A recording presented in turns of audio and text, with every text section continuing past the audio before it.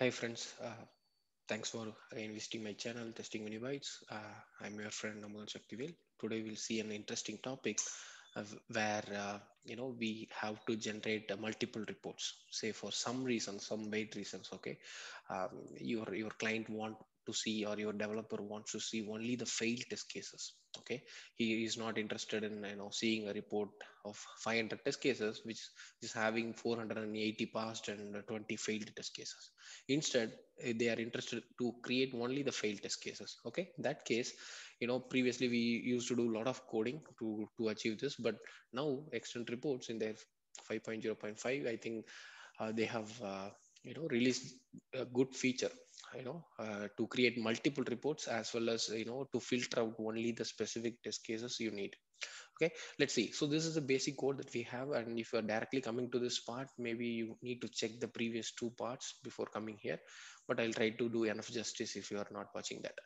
Anyways so so this is the code that we have used to generate the report in this particular you know uh, a root folder with the name of index.html and this is this is the you know the default setting that i want my report to have I'm attaching my Spark reporter to the extent so that you know all the logs that I'm writing to the extent will, will get you know registered in the Spark HTML you know a Spark reporter.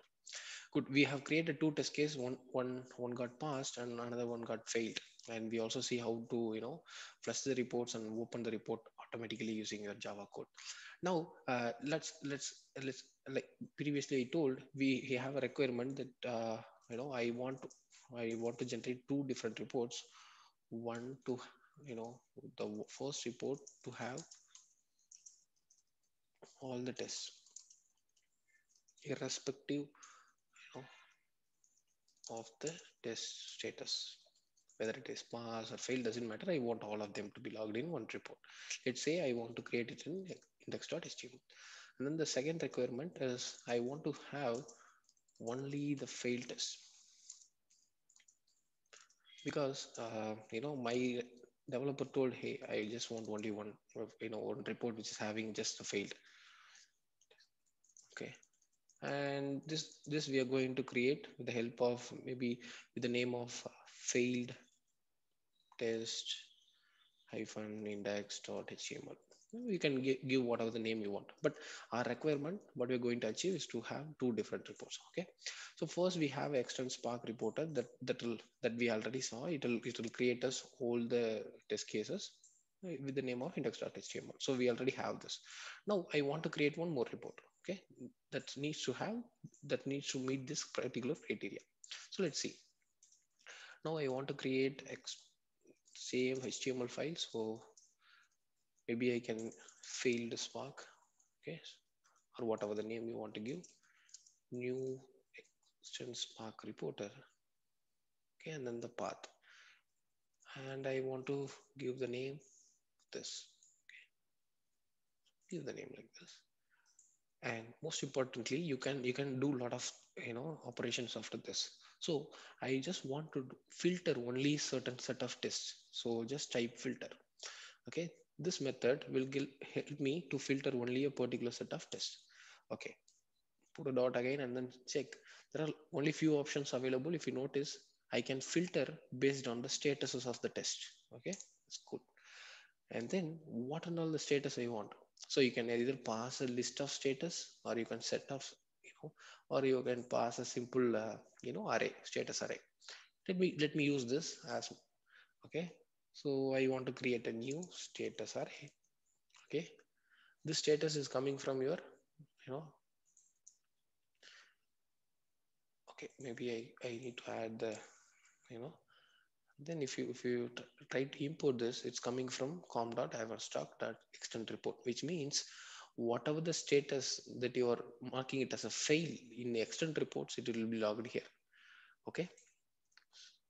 Cool and then I want to have they have enums for this so status dot fail I just want to filter out only this particular thing okay now it's throwing error. See it's it's not returning you a extent reporter spark reporter. It's giving you different different return type. So what I have to do I just need to apply all these rules. So we have applied some rules which is going to filter us based on the status of a certain you know statuses. Only for now i just want to produce the report which is having only status fail. If you also want to include uh, maybe the status dot uh, skip you can also do that. So if you also want to you know filter like this you can also do that. Now this report what you're going to generate will will consist only of two uh, you know statuses that is fail and skip. But for now our you know our case we want to generate only one. So that is only fail.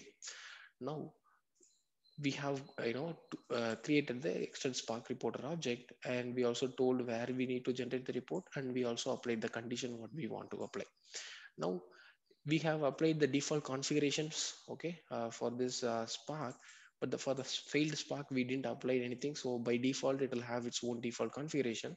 So if you want to also change them you can also do that.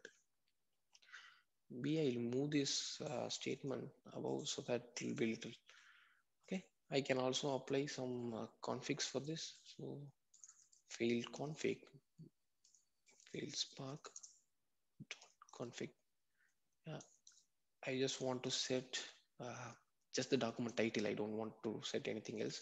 Let it be the default. Okay. Failed tests. Okay. Something like this. Okay. I'm not setting the theme because uh, by default it will be standard theme. So I don't bother about my report name for now. Okay. If you want, you can change them as well.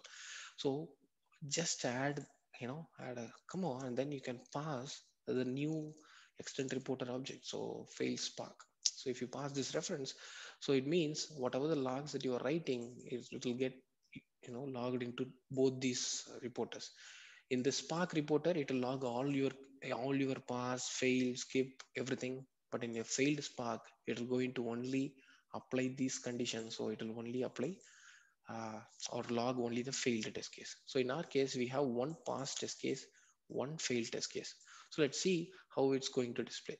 Again, we are only opening this particular you know the all con the report having all the test cases. So let me also uh, by default open this as well.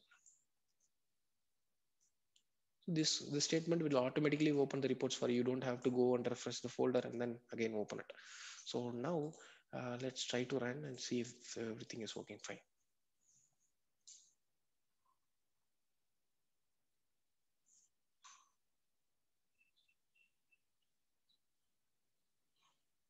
So if you see, uh, we have two reports. The, the, the first one is index.html. This is containing all the pass and fail tests like we want. And we also have one more report that is failed test hyphen index.html. And if you notice, this is only having the failed test.